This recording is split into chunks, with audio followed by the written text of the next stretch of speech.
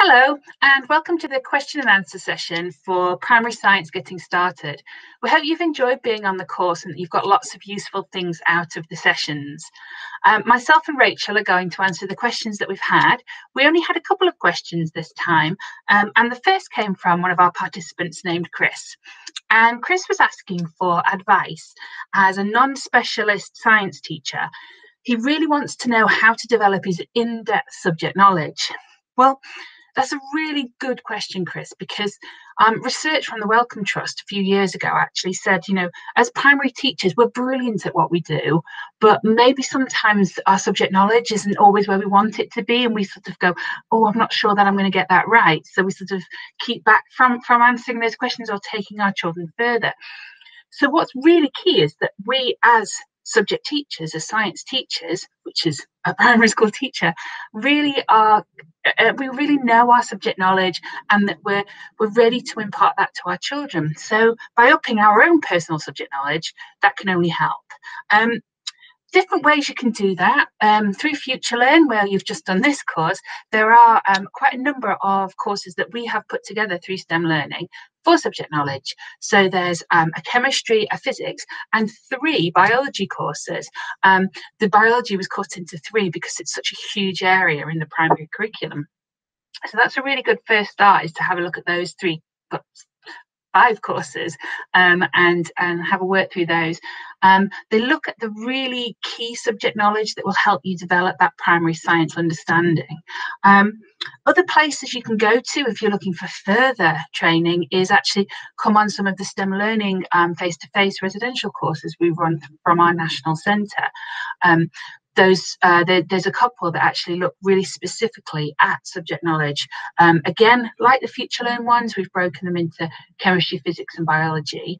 Or there's a, a general one where we're looking for science leaders and how they can develop their own subject knowledge and then impart that onto their um, their staff and children. Um, if you're looking for resources to support you, um, places like the best resources so best were produced by the university of york um, and they look at the progression through understanding of science concepts now they're aimed not at teaching primary children but they're aimed at the the concepts so you know the big ideas behind physics chemistry and biology and pulling them apart and what you might need to know first and how you would work through that learning. So for your own personal subject knowledge, those are great places to have a look at. Um, uh, Reach Out CPD is another CPD provider, free online, that you can look at for if you're teaching a new subject, so a new topic, and you might want to look in there, and it has at the beginning of each topic the subject knowledge that you need to understand. Um, I know when I first started teaching um, from STEM, I started using the book called Misconceptions in Primary Science. And whereas I thought my subject knowledge was pretty good, when I read that, I'd go, oh. And that was really interesting because it, it highlights a, a misconception that a child might have and then explains the science behind it. So again, if we can never know what we don't know.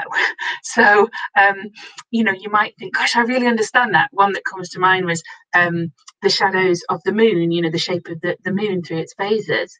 And I thought I'd got that really clear. I read in that book, Misconceptions, um, about what how actually those shapes of the moon are formed and it threw me and i'd got to the age of 40 and didn't didn't quite understand that so i guess it's it's knowing what we don't know so sort of analysing our subject knowledge and then finding those places that will help to support us to develop our own subject knowledge. So I guess that we're not one teaching misconceptions to our children, but two, we're taking our learning further.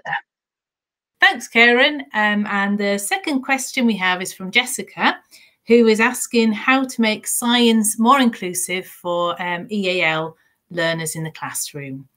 Um, a lot of the strategies um, will be ones that will support all children in your class. So, um, you know, it's it's things, for example, like um, teaching vocabulary, because EAL children will really struggle with a lot of the, the key scientific vocabulary and what it means. But often these topics are new for all children. Um, so actually dealing with how to do this effectively will support the whole of your class. Um, and yes, one strategy is you can pre-teach vocabulary with the groups of children who um, have English as a second language or additional language.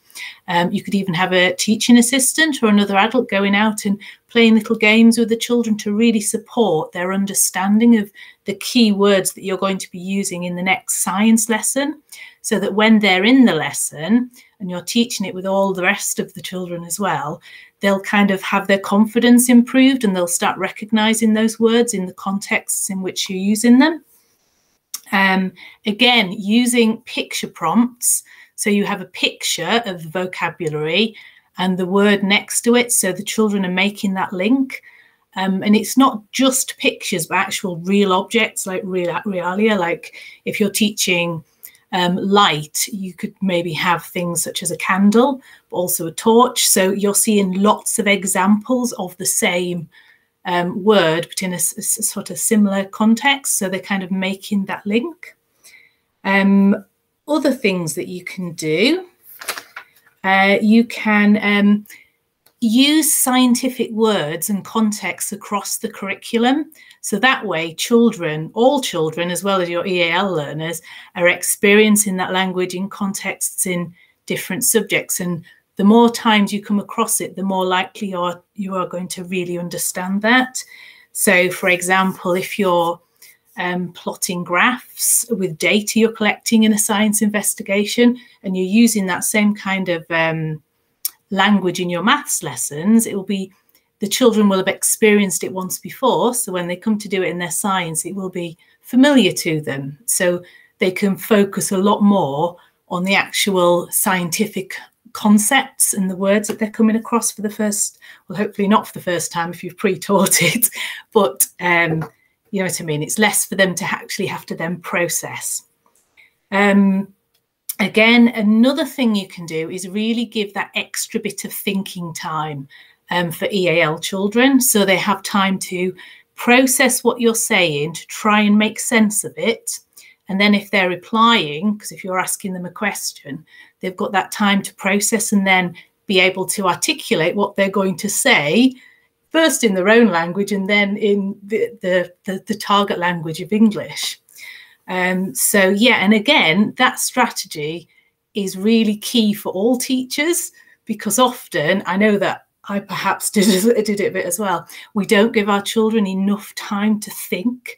We'll say, oh, you've got two minutes to do that and then very quickly ask them for answers. So um, it's another key thing to just um, be aware of.